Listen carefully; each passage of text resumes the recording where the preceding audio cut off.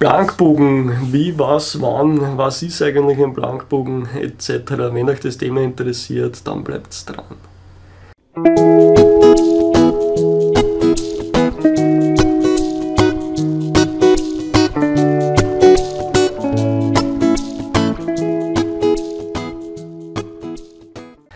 Herzlich willkommen bei Intuitiv Bogenschießen Coaching. Heute geht es eben ums Thema Blankbogen.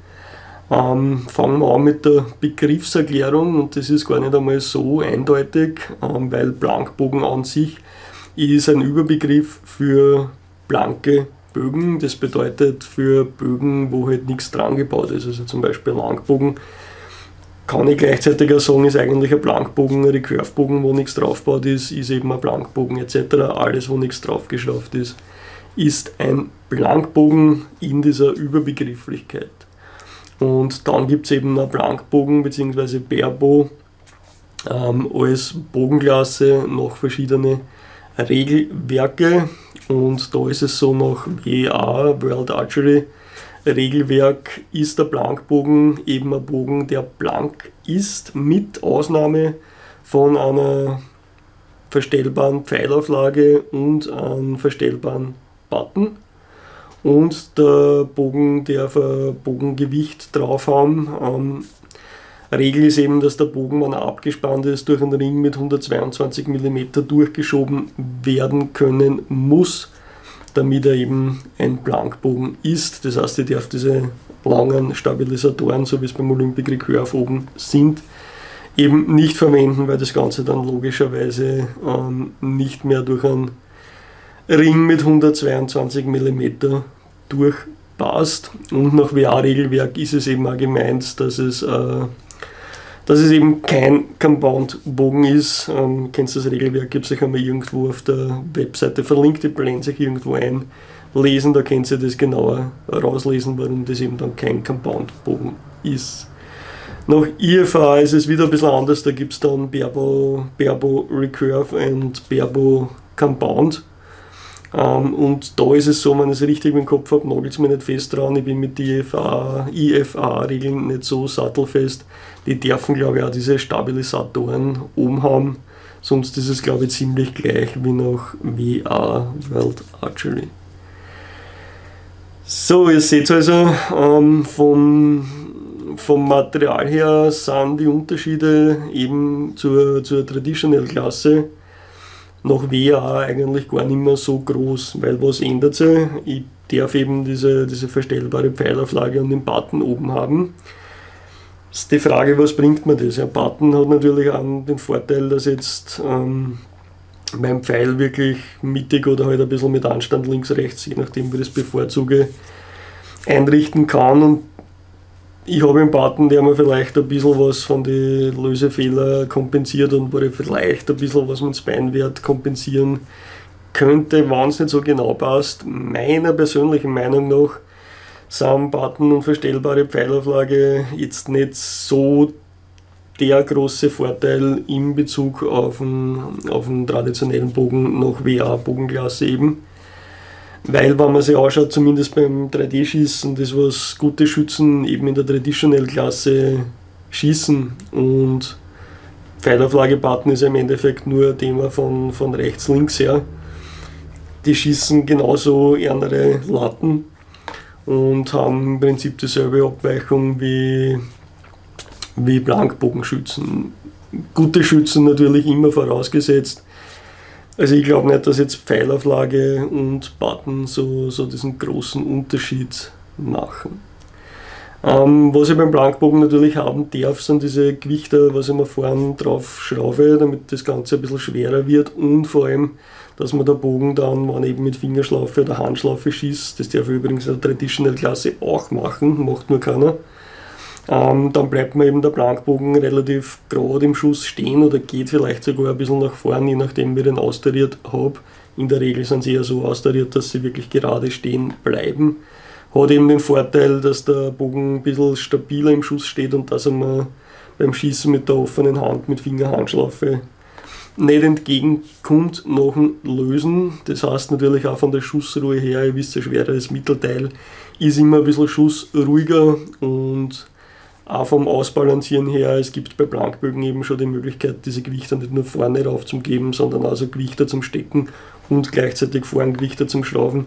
Das heißt, die kann man von der Balance her und vom Gewicht her besser anpassen, als wenn das eben jetzt dieser Traditional Bogen ist, der halt sein Gewicht hat und wo ich nichts mehr tarieren kann. Das bringt natürlich auch ein bisschen einen Vorteil, wobei man sagen muss, ähm, dass jetzt eh schon in der Traditional Klasse relativ viele schwere Mittelteile geschossen werden. Also auch wenn Traditional, glaube ich, der muss einen gewissen Holzanteil haben. Wie gesagt, schaut es nach, ich habe es euch irgendwo verlinkt. Aber da ist es eben auch so, dass diese Bögen schon in die verschiedensten Gewichte gibt und dass die einfach von der Schussruhe aufgrund des Gewichtes her und auch von denen her, wie es durch die Formgebung ausbalanciert sind, schon sehr nahe am Metallmittelteil bzw. am Blankbogenmittelteil mit Gewicht drauf von der Schussruhe her. Also diese Lücke ist auch sehr, sehr klein worden, was jetzt eben das Bogengewicht betrifft. Was auch so ein Punkt war, ähm, der Unterschied zwischen Traditional Klasse und Blankbogen ist eben, dass die Metallmittelteile von den Blankbogen oder jetzt mittlerweile schon Carbon etc. eigentlich immer über die Mitte dann schon geschnitten waren, weil Metall einfach stabiler war. Mittlerweile ist es so, dass die sehr viele von den Traditional Holzbögen auch das Bogenfenster über die Mitte geschnitten haben.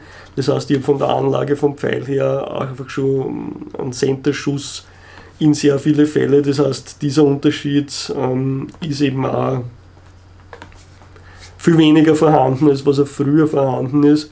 Das heißt, diesbezüglich ist die Lücke eben auch zwischen Blankbogen und Traditional Bow kleiner geworden, was natürlich der Traditional Bow nach wie vor hat, auch wenn er schwererer Recurve-Bogen ist, ist einfach durch das, dass er das Gewicht nicht so weit vorne haben kann, ähm, kommt er mal mehr zurück beim Lösen. Aber rein von der Schussruhe her sind die Unterschiede schon sehr minimal. Also ihr seht rein vom, vom, vom Material-Setup her ist zwischen Blankbogen und eben der Traditional-Klasse, wann die entsprechenden Bögen geschossen werden, nicht mehr allzu groß. Was jetzt natürlich ein großer Unterschied ist, ist, dass nach World Archery ähm, Stringwalking erlaubt ist in dieser Bogenklasse als Zieltechnik. Wobei was erlaubt ist, ist ja immer nur dann relevant, wenn ich wirklich einen Bewerb nach, einer gewissen, nach einem gewissen Regelwerk schieße, dann muss ich mich dran halten.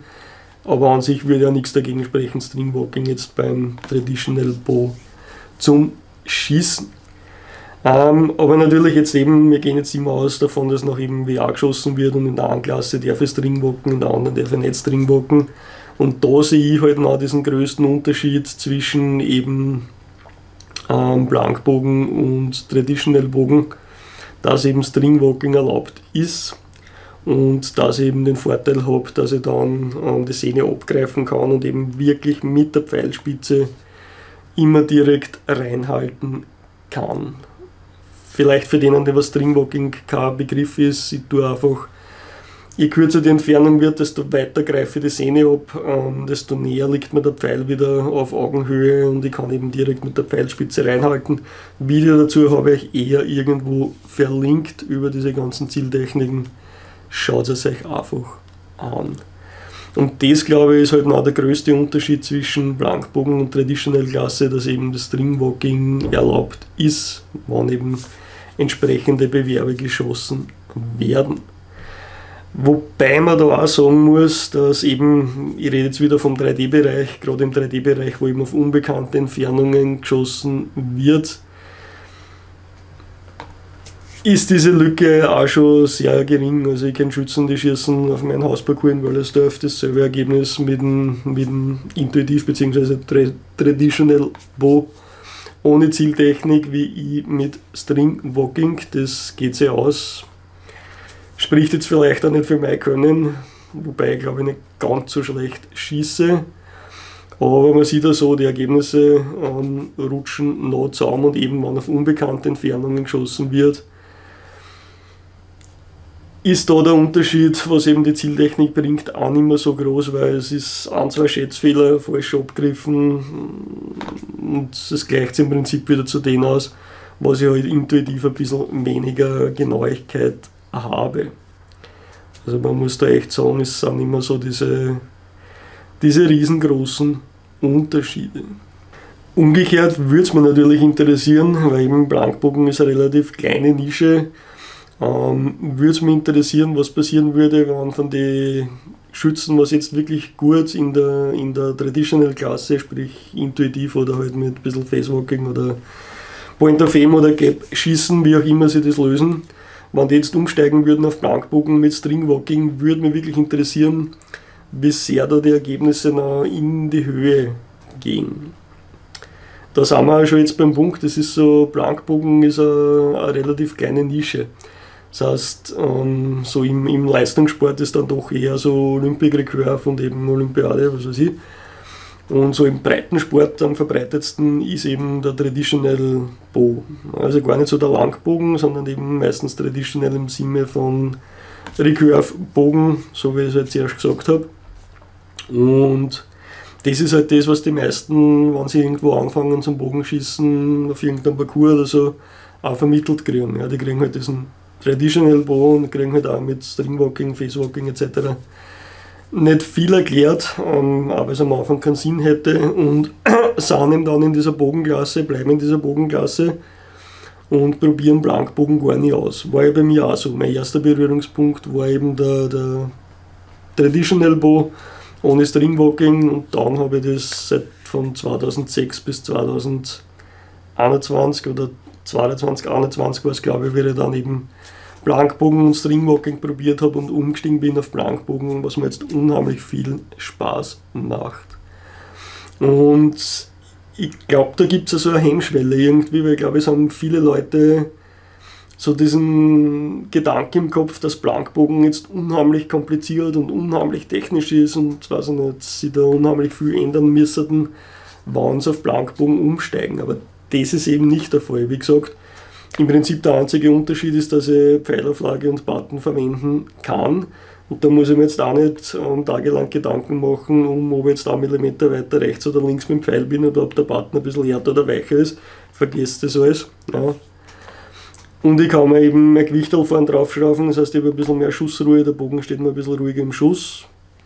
Und ich darf eben dann, wenn in dieser Bogenklasse irgendwo mitschieße, String walken. Und muss ich aber nicht. Also ich könnte halt mit dem Blankbogen, wenn er jetzt von der Schussruhe her taugt, auch ohne Stringwalking schießen. Aber natürlich kann ich dann Stringwalking anwenden und das ist auch nicht so kompliziert, wie alle glauben. Also im Endeffekt stellt sich euch dann, weiß ich nicht, ein, zwei, vielleicht drei Stunden am Platz hin, schießt eure Abgriffe auf die unterschiedlichen Distanzen aus und dann geht es eigentlich nur mehr ums Entfernungsschätzen. Und Entfernungsschätzen ist ja auch was, was man dann irgendwie zumindest so halbwegs ins Gefühl kriegt. Und dann schätzt man halt die Entfernungen und tut Szene abgreifen. Ja, also es ist dieser, dieser Unterschied eigentlich gar nicht so groß, aber mir hat es dann schon unheimlich viel Spaß gemacht, wie ich halt auf einmal auch zielen habe können. Also wird diese Möglichkeit zum Zielen Spaß gemacht und eben ohne, dass ich jetzt ein Visier verwenden muss und Visier einstellen muss, diese ganzen Geschichten, weil eben Blankbogen immer noch ein sehr einfaches Setup und diese Zielmethode auch sehr einfach ist, im Endeffekt zum Erlernen. Schwierigkeit ist, wie gesagt, eben immer ähm, Entfernung schätzen, das wirklich ins Gefühl zu kriegen und so wie bei jeder Form von Bogenschießen, dass der Bewegungsablauf sauber ist. Ja. Aber wie gesagt, vielleicht, wenn ihr einmal Gelegenheit habt, probiert es aus. Ähm, vor allem, wenn ihr jetzt eh schon schwerere Recurve-Mittelteile etc. schießt. Wenn es euch interessiert, probiert es einmal ein bisschen Blankbogen schießen. Vielleicht ist es was für euch. Ich erlebe dass eben durch das, dass doch ein bisschen mehr los war im Bogenschießen und relativ viele Leute wieder angefangen haben, ähm, doch immer wieder doch Leute dann zum Blankbogen greifen und das ausprobieren und dann doch auf den Blankbogen wechseln weil es ihnen einfach mehr liegt und weil sie halt auch oft zum Teil Leute sind, denen das Intuitive oder das so ungefähr Zielen eh nicht gefallen hat, die lieber genau zielen wollen, die aber eben noch nicht mit Visier etc. schießen möchten, weil es ihnen dann wieder zu viel Krimskrams, zu viel Technik ist. Ja, schreibt mir vielleicht einmal in die Kommentare, ob ihr Erfahrungen mit dem Blankbogen habt, wie ihr zum Blankbogen schießen gekommen seid, ob ihr auch irgendwann gewechselt habt, diese ganzen Dinge. etc. Und ich bin gespannt, wie sich das in nächster Zeit entwickelt. Ob viele Leute wechseln von Traditional auf Blankbogenklasse oder eher nicht oder eher umgekehrt. Ob es Leute gibt, die vom Blankbogen gibt es natürlich auch keine aber ob das relativ häufig der Fall ist, die eben von Blankbogen auf Traditional oder auf Intuitiv schießen gewechselt sind.